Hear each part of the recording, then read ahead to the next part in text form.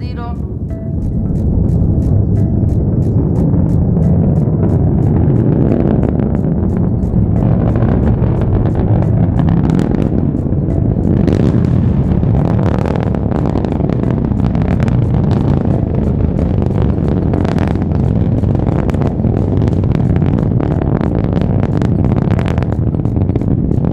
जैसे मेरी critical operation is, is uh, good that is happened without any hitch.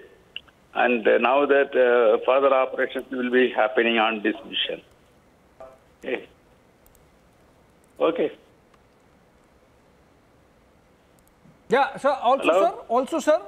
How how critical the phase is now? Because remember the last time the failure bit of Chandrayaan 2 was only about landing. Otherwise, everything else was working fine. So this is the most important and critical phase of Chandrayaan 3 project, the soft landing that has to happen.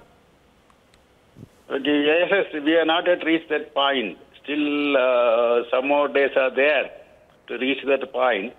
And uh, whatever going to happen on 23rd, only it is happen that uh, misbehaved in the uh, Chandrayaan 2, this one.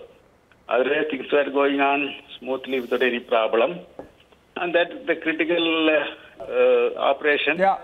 And uh, this time we are hoping that everything will be all right and going to be successful.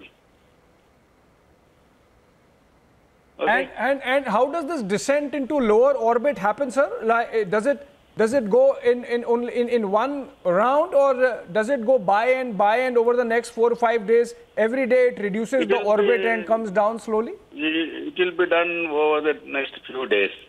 This one. Okay.